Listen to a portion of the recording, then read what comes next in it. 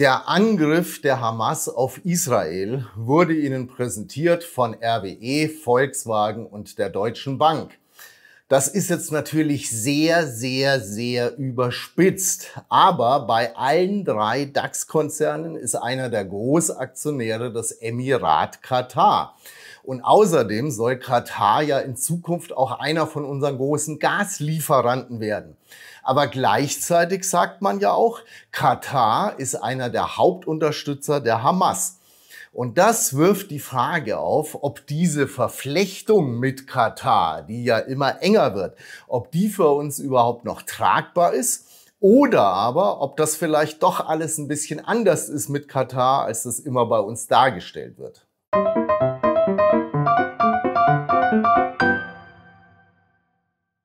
Als YouTuber, da denkt man sich manchmal, ja, ich muss irgendwann mal sowas richtig krasses, provokantes, schockierendes sagen. Irgendwas, über das sich alle aufregen, weil nur so wird man heutzutage ja bekannt. Und was bietet sich da mehr an als Israel und Gaza? Kennen Sie Slavoj Žižek, ein Philosoph? Ich hoffe, ich habe ihn richtig ausgesprochen. Beziehungsweise haben Sie den gekannt vor zwei Monaten? Ich habe vielleicht den Namen damals mal gehört, aber jetzt kennt man ihn natürlich. Er hat eine Rede gehalten auf der Frankfurter Buchmesse kurz nach dem Angriff der Hamas auf Israel. Und dabei hat es dann Tumulte gegeben und Proteste. Und dabei hat er anscheinend nur gesagt, man muss bei dem das Ganze auch vor dem Hintergrund äh, der Palästinenser mal sehen. Den Angriff selber hat er natürlich auch verurteilt. Aber so schnell geht das heutzutage. Und es ist ja auch klar, was wäre denn das für ein Krieg, wenn er nur im Nahen Osten stattfinden würde und wenn er noch so schrecklich ist. Aber wir müssen den schon auch hier bei uns selber austragen können. Auf unseren Straßen und in unseren Feuilletons. Sonst interessiert das keinen. Traurig, aber wahr. Der Hamas-Angriff ist natürlich fast überall verurteilt worden und überall hat man dann auch Solidarität gezeigt mit Israel. In Berlin ist zum Beispiel das Brandenburger Tor angestrahlt worden in israelischen Farben. Ein bisschen anders hat man es aber in Katar gesehen. Katar ist natürlich ein muslimischer Staat, aber es ist ja eigentlich auch ein enger Verbündeter des Westens. Das wird hier ja auch immer wieder betont auch mit einer großen amerikanischen Militärbasis. Nur in Doha, da hat man das Nationalmuseum nach dem Hamas-Angriff, da hat man dann die palästinensische Flagge dra drauf projiziert. Und die Schwester vom Emir, die hat dann auf Instagram noch das Zitat geteilt. Die Israelis fühlten sich einen Tag lang wie Palästinenser und anscheinend mögen sie es nicht. Das war dann natürlich nicht so feinfühlig und das war auch nicht mehr so ganz auf der westlichen Linie. Katar steht gerade voll in der Kritik. Und Sie erinnern sich wahrscheinlich an die Fußball-WM. Das war ja damals auch schon alles hoch umstritten, das Ganze. Es ging um die Frauenrechte in Katar und die Rechte für die Homosexuellen. Und Nancy Faeser, die hat dann die One Love Binde getragen im Stadion. Das kommt einem heutzutage inzwischen alles fast harmlos vor, weil jetzt steht noch ein ganz anderer Vorwurf im Raum, nämlich, dass Katar einer der Hauptunterstützer der Hamas ist oder wie die Bild hier schreibt, der Top-Sponsor des Terrors. Fünf Tage nach dem Angriff auf Israel war ja der Emir von Katar in Deutschland auf Staatsbesuch. Und ohne Bild wäre das wahrscheinlich sogar ziemlich untergegangen. Aber Bild hat engagiert drüber berichtet, so wie hier. Roter Teppich für den Blutscheich. Und worum ging es bei dem Besuch? Ursprünglich wäre es sicherlich um Gas gegangen, hauptsächlich. Katar soll uns ja mit Flüssiggas beliefern in Zukunft. Mutmaßlich eingefädelt von Robert Habeck und von Franz Beckenbauer. Aber schlussendlich wird es dann wohl doch eher um den Krieg gegangen sein und vor allem auch um die Geiseln. Und das Auswärtige Amt, das hat danach dann ja auch mitgeteilt, Katar kann da sicherlich vermitteln und ist möglicherweise ein wertvoller Gesprächskanal zur Hamas.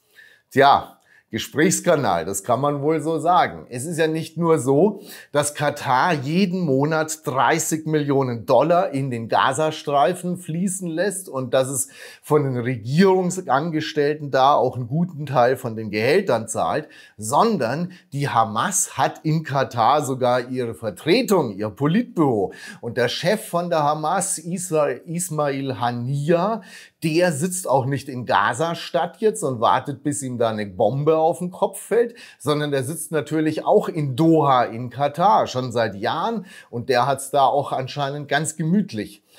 Allerdings, das ist die politische Hamas, wohlgemerkt. Das ist nicht die militärische, das ist wohl schon ein Unterschied. Und der Spiegel, der hat zum Beispiel auch einen westlichen Diplomaten zitiert, der gesagt hat, die in Doha, die politische Hamas, die hat von dem bevorstehenden Angriff wahrscheinlich ungefähr so viel Ahnung gehabt wie der Mossad oder der CIA, nämlich rein gar keine.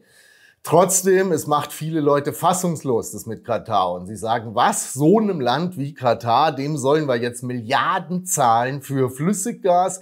Da können wir es doch auch gleich Wladimir Putin wieder abkaufen. Aber keine Sorge, dem kaufen wir es ja auch immer noch ab. Das russische Gas fließt ja auch immer noch nach Europa, nur nicht durch die Nord Stream Pipelines. Aber klar, in Zukunft kommt das Gas für uns eben auch aus Katar für unsere sichere Energieversorgung.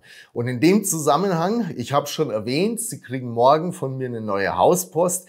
Da geht's um den Ölmarkt und um den Ölpreis, wo der Krieg im Gazastreifen natürlich auch stark mit reinspielt. Die Weltbank zum Beispiel, die hat neulich gewarnt, wenn das da weiter eskalieren sollte, dieser Konflikt, dann steigt Öl auf 150 Dollar pro Barrel. Im Moment sind wir bei Brennöl bei unter 80 Dollar. Aber es geht bei Öl natürlich auch nicht nur um den Nahen Osten. Die Reports von mir, die sind gratis. Dieser Report, diese Hauspost, die geht morgen raus. Also wenn Sie sie noch nicht kriegen, dann fordern Sie sie noch schnell an auf www.heinrichs-hauspost.de. Morgen früh haben Sie sie dann im Postfach.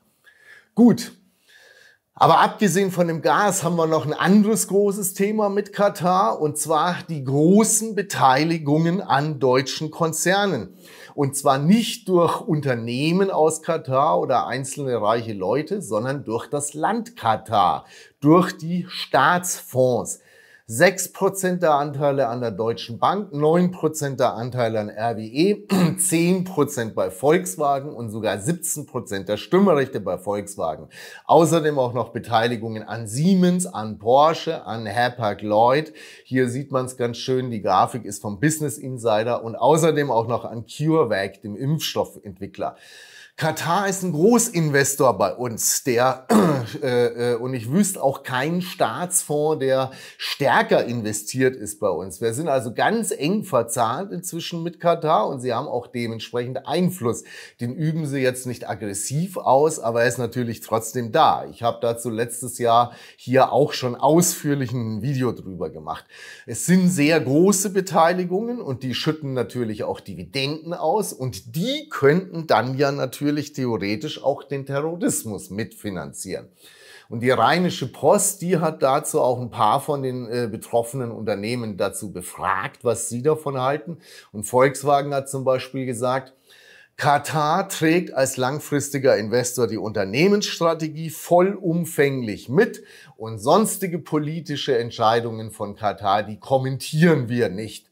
Aber was sollen sie auch sonst sagen, Volkswagen? Wenn man Aktien von sich ausgibt, dann kann die erstmal jeder kaufen, der das darf. Und ob derjenige das darf, das ist auch erstmal nicht das Problem von Volkswagen natürlich. Und wenn Sie jetzt Dividende kriegen von Volkswagen, dann weiß Volkswagen auch nicht, kaufen Sie dafür jetzt protestantische Bibeln und lassen die verteilen oder versaufen Sie die und verhuren Sie die. Und Volkswagen muss und will das auch gar nicht wissen.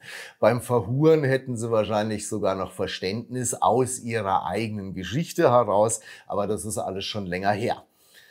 Aber die viel wichtigere Frage ist natürlich auch, ist Katar wirklich dieser große Terrorfinanzierer, als der es gerade dargestellt wird? Katar hat 2017 schon große Probleme gekriegt. Da haben Saudi-Arabien, äh, die Vereinigten Arabischen Emirate und Ägypten scharfe Sanktionen verhängt und auch eine Blockade, weil sie Katar genau das vorgeworfen haben. Katar war eben immer schon ein bisschen anders. Und sie betreiben zum Beispiel auch den Sender Al Jazeera. Der hat offen über den arabischen Frühling berichtet damals. Das hat vielen gar nicht gefallen. Katar hat auch gute Beziehungen zur Muslimbruderschaft, die ja in Ägypten unterdrückt wird.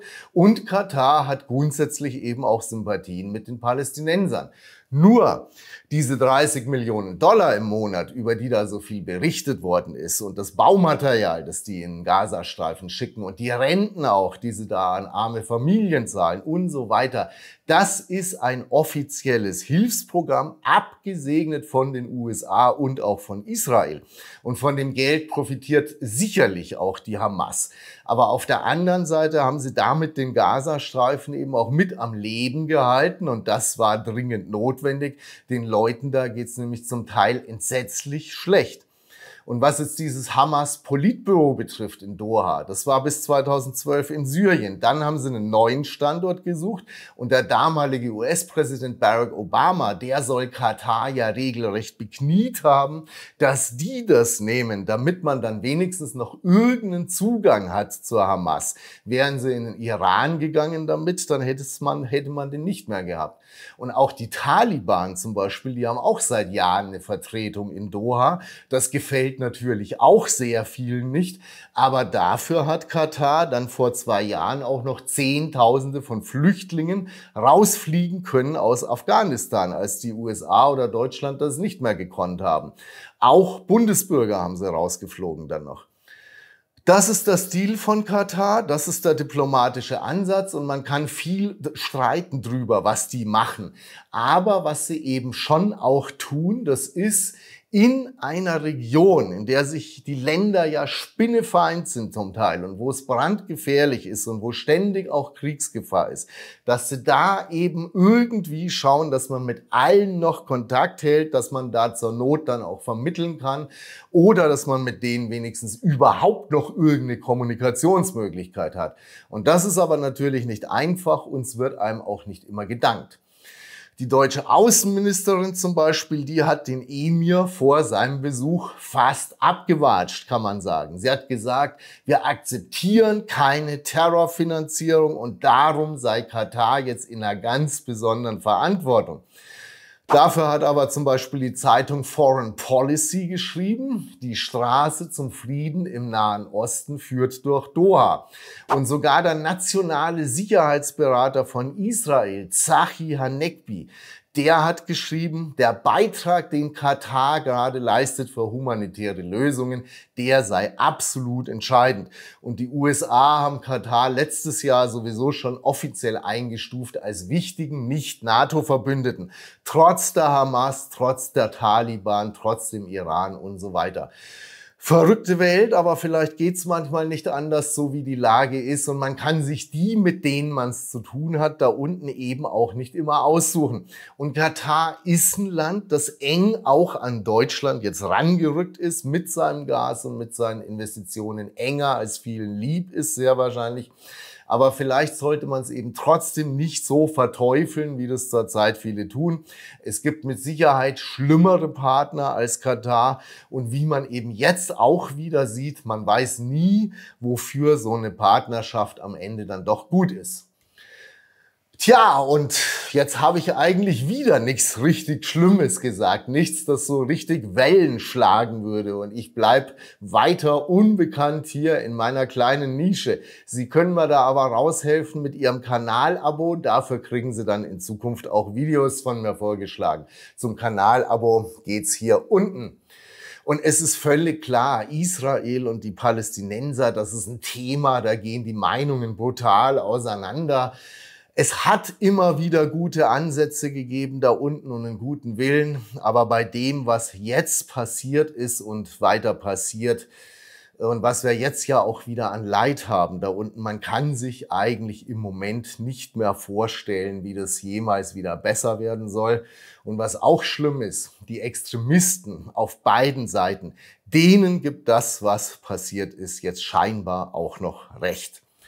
Seien wir dankbar, dass es uns noch gut geht, dass wir auch noch den Luxus haben, dass wir uns zum Beispiel Gedanken machen können über so schnöde Dinge wie den Ölpreis. Das ist ja das nächste, was Sie von mir kriegen. Morgen die Hauspost. Denken Sie dran, dass Sie die noch bestellen für sich auf www.heinrichs-hauspost.de. Seien wir einfach dankbar und schauen wir auch, dass wir uns hier wenigstens jetzt nicht auch noch die Köpfe einschlagen über den ganzen Konflikt. Nicht jeder Muslim ist ein Terrorist und nicht jeder jüdische Gastronom ist Baruch Goldstein. Und wir würden jetzt auch nicht wollen, wenn wir zum Beispiel im Urlaub sind, im Ausland an der chinesischen Mauer, wenn wir da angepumpt werden, dann für die deutsche Regierungspolitik, für die wir ja auch nichts können. Das passiert einem aber in der Regel in China nicht. Die Chinesen sind eben noch ein zivilisiertes Volk. Nehmen wir uns da mal ein Beispiel. Alles Gute Ihnen. Dankeschön fürs Zuschauen.